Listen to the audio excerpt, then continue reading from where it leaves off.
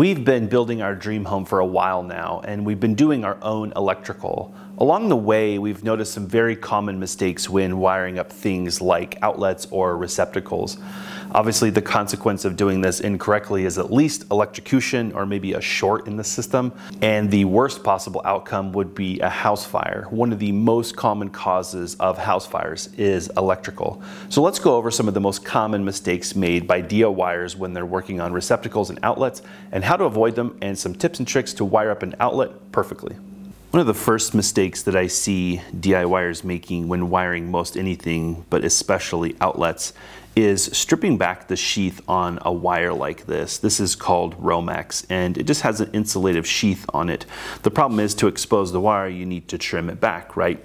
What I see people doing is reaching for things like a knife or maybe some scissors and trying to figure out how to cut this sheath the you know the propensity is to try to maybe try to twist it as you cut or maybe you try to you know kind of carve it away something like this.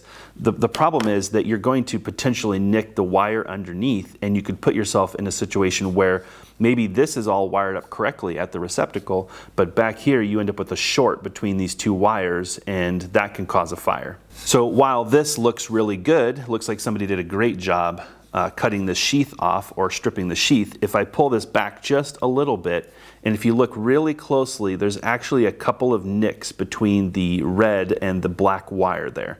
And that's what happens when you cut too deep. This is kind of insidious because you wouldn't even notice it because unless you really paid attention to this cut area here, the tendency would be to think that you did a really great job cutting all the way out here. The right way to strip wire is actually to use a pair of pliers that are designed for this task. These are actually called Romex pliers and they're made by a company called Klein. And they have a special portion of the pliers right here that are designed to cut just the sheath off of wire. They even tell you the wire size and the number of conductors that it's designed for. And if you use these properly, you make the perfect cut. It won't cut the underlying wire or the insulation on the wire, it'll only cut the sheath itself. So what we could do is come back here and take this portion of the sheath and make one nice clean cut. And I'm squeezing as hard as I can. And now we can simply remove this insulation and we have a nice clean cut here with no damage to the underlying conductors or wires. The second mistake I see a lot is stripping wire and again reaching for things like scissors or a knife and trying to either shave the wire back or you know, make a circular cut around here. Again, the problem with that is that you run the risk of either nicking the conductor itself or even making the conductor brittle. If you were to make a nick in the wire and then bend it several times, what you don't realize is happening is the copper is being weakened. And when that happens, it will not pass electricity as efficiently. And you might get away with it. But if you start running some high amperage or high power devices over time, and this wire is bent inside the box, it's like a kink in your garden hose. And again, you can't see it, but that nick can be a major fire hazard. Uh, not so much an electrocution hazard, but it will cause a lot of heat to build up in the wire as those electrons try to move down the wire. Again, the right way to strip wire is to use a set of pliers that are designed for this exact task. These same pliers have a measured stripping gauge right here, and they're designed so that when you squeeze as hard as you can, they only strip the sheath off of the wire, the insulator, and they don't do any damage to the conductor. So for example, this wire is what's called number 14 wire or 14 gauge wire.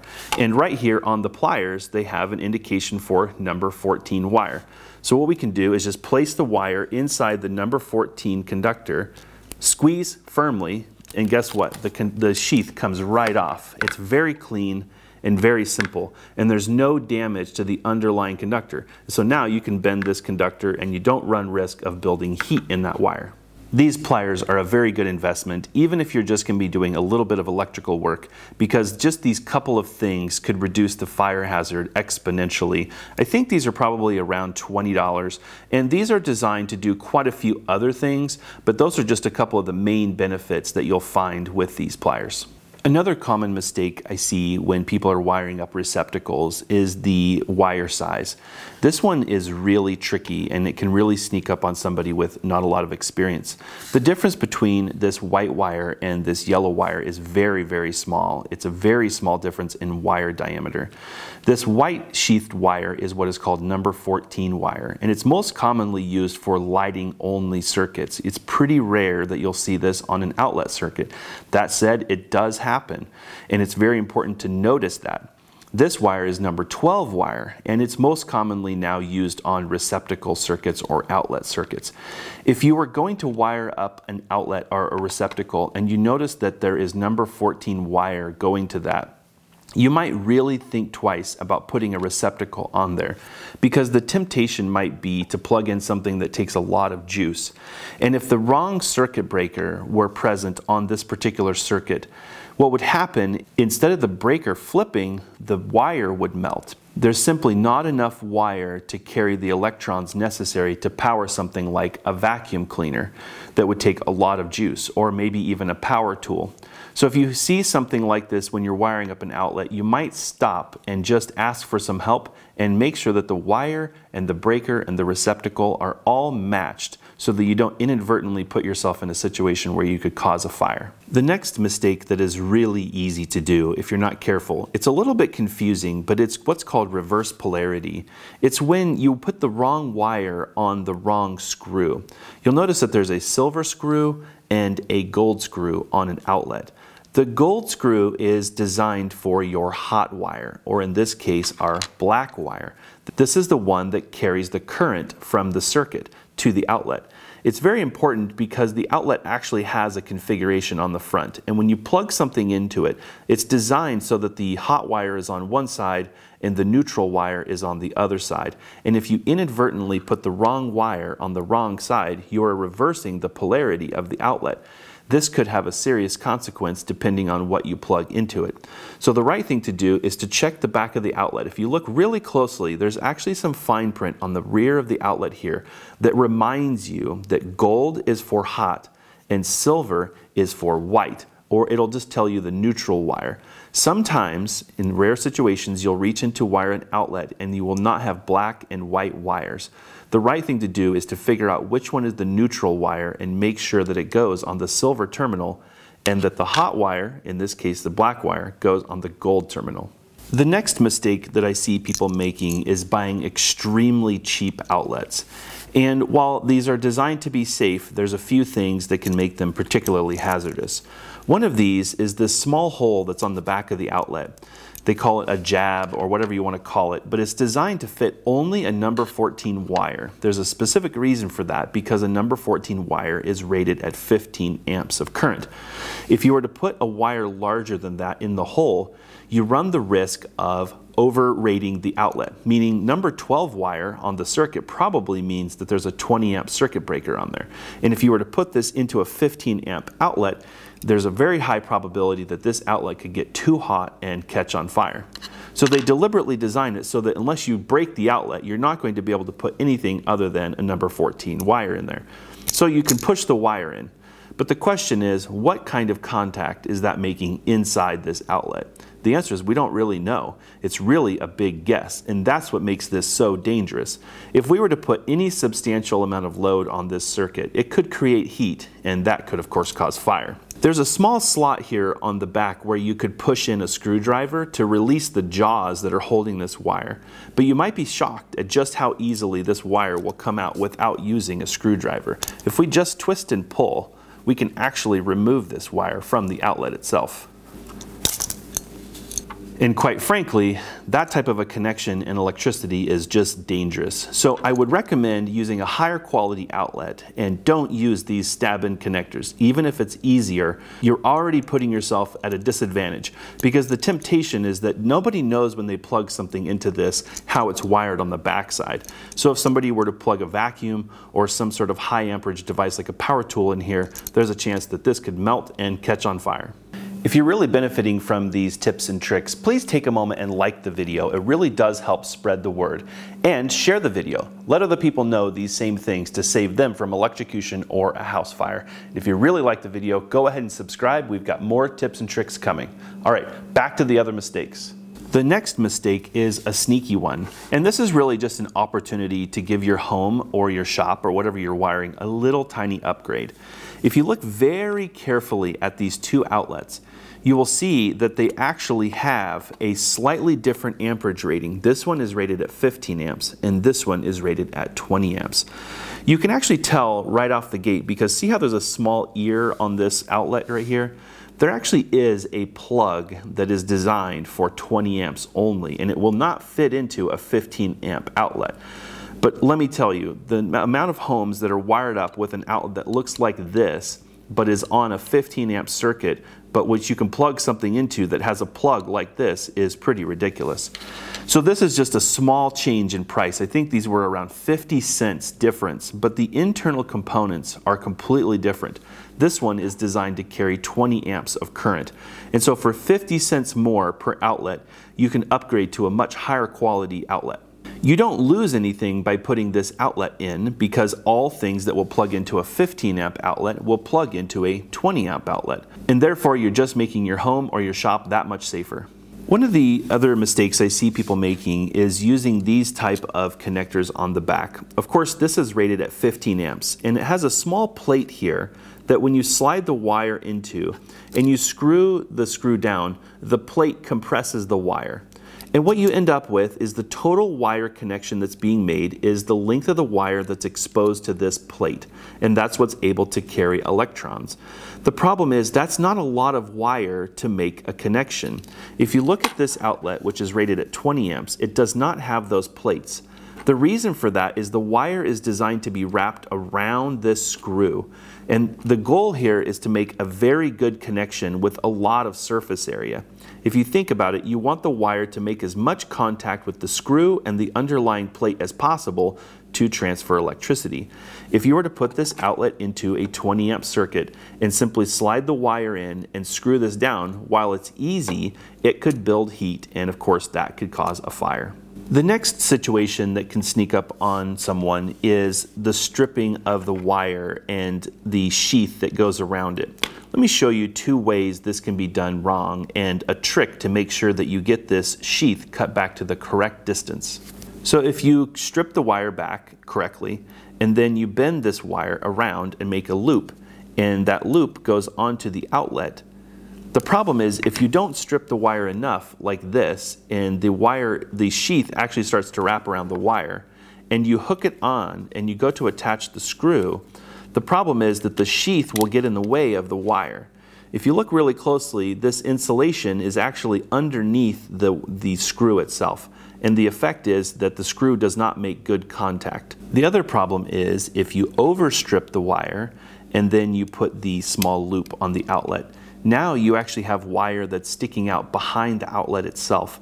And if this were in a metal box or there were other wires there and you did this to more than one of them, there is a chance that something could touch and short or cause an arc and electrocute you or obviously it could cause a fire at some point. Let me show you a trick to make sure that your wires are always stripped the exactly correct distance. On the back of nearly every single outlet out there is what's called a strip gauge. It's actually right here, and what we can do is simply slide our wire into that and then hold onto it and mark it with our finger.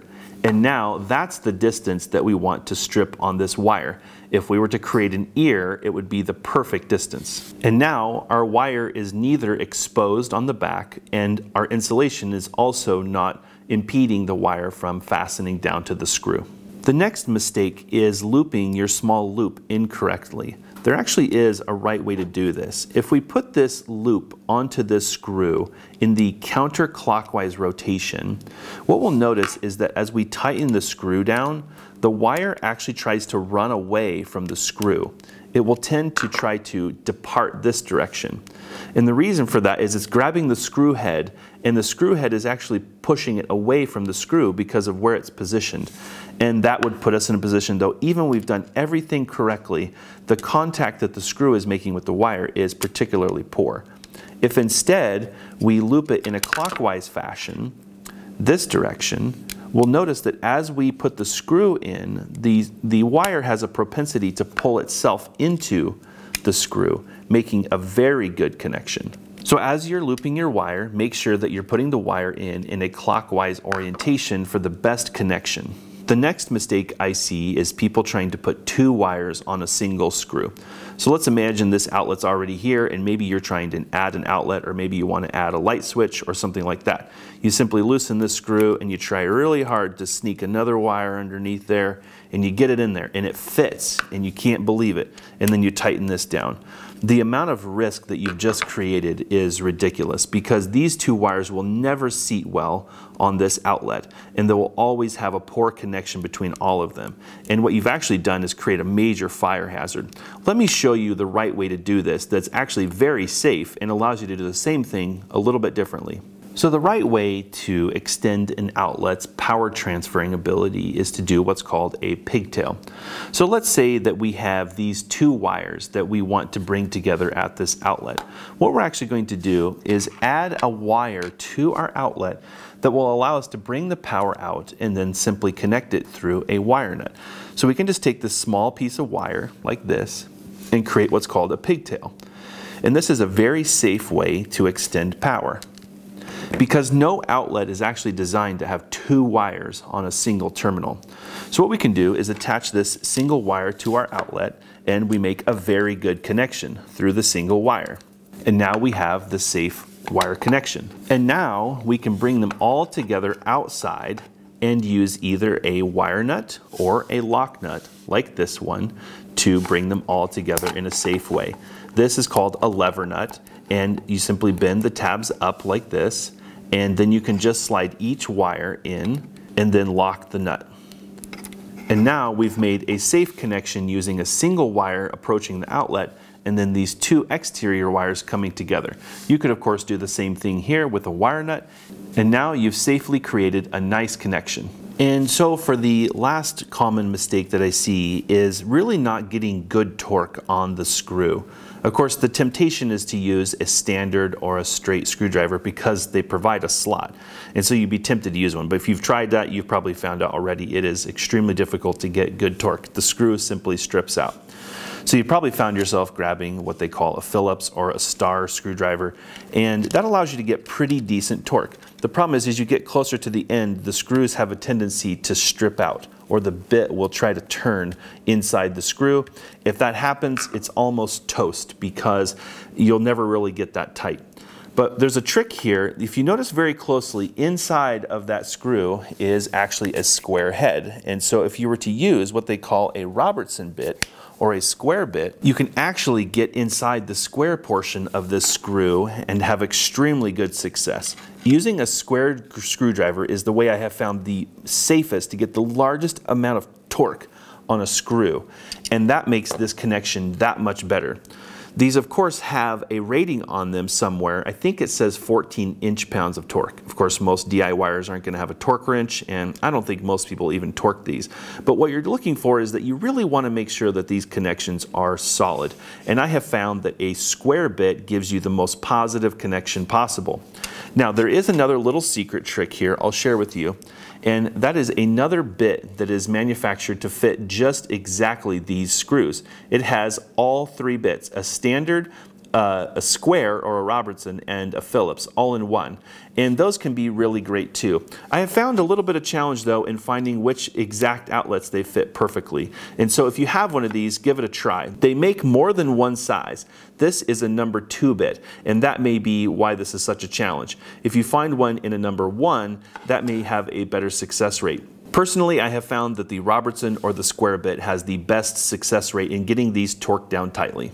That does it for this video. If you really enjoyed these tips and tricks, please take a moment and thumbs up the video and give it a share. Help other people benefit from these common wiring mistakes.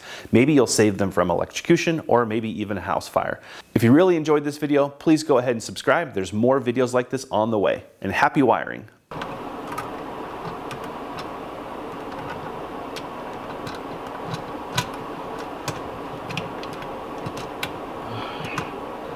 Wow. That's a new, it's a new everything.